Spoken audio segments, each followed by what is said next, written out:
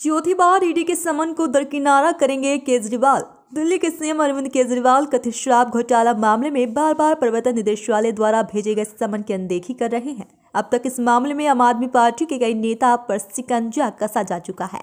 इस मामले में कि कविता से भी पूछताछ हो सकती है। वहीं जब दिल्ली के सीएम अरविंद केजरीवाल को पूछताछ के लिए ईडी ने समन भेजा तो उसे गैर कानूनी बताते हुए उन्होंने एजेंसी के पास जाने से इनकार कर दिया। हालाँकि ईडी ने अरविंद केजरीवाल को चौथा समन भेजा और आज यानी गुरुवार, अठारह जनवरी को एजेंसी के समक्ष पेश होने के लिए कहा। लेकिन सूत्रों का कहना है कि केजरीवाल इस बार भी ईडी के सामने पेश नहीं होंगे।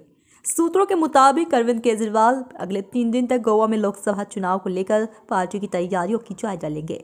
मुख्यमंत्री दफ्तर के एक अधिकारी के मुताबिक, पहले से तय कार्यक्रम के मुताबिक अरविंद केजरीवाल गुरुवार को गोवा निकलने वाले हैं। वहीं एक कार्यक्रम के बाद जब अरविंद केजरीवाल से ये सवाल किया गया कि क्या आप गुरुवार को ईडी के समक्ष पेश होंगे तो उन्होंने कोई भी साफ़ जवाब देने से बचते हुए नज़र आए।